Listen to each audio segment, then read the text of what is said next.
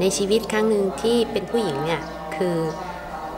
มันไม่มีโอกาสที่เราจะได้ห่มผ้าเหลืองหรือการบวชไม่มันคือโอกาสที่น้อยมากนะคะผู้หญิงจะได้บวช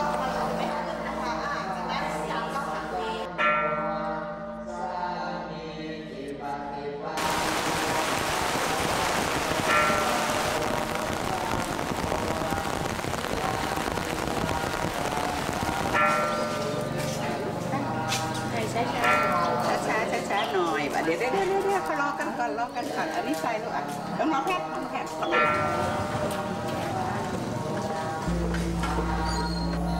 พระพุทธองค์เกิดมาก็เพื่อที่จะช่วย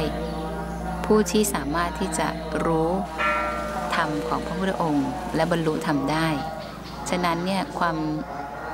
ความมีกรุณาของพระพุทธองค์เนี่ยไม่ได้เลือกชั้นวรรณะไม่ได้แยกหญิงไม่ได้แยกชาย มรรคผลนิพพานเป็นสิ่งที่มนุษย์ทุกคนที่สามารถรู้ได้ คือวินยูชน ซึ่งไม่ใช่หญิงไม่ใช่ชาย แต่เป็นตัวสติตัวปัญญาที่ได้สะสมมาตัวนี้ แม่ก็แม่ก็บอกหนูว่าลูกบวชตลอดชีวิตได้นะ หนูก็ เย้ หนูดีใจมากเลย happiness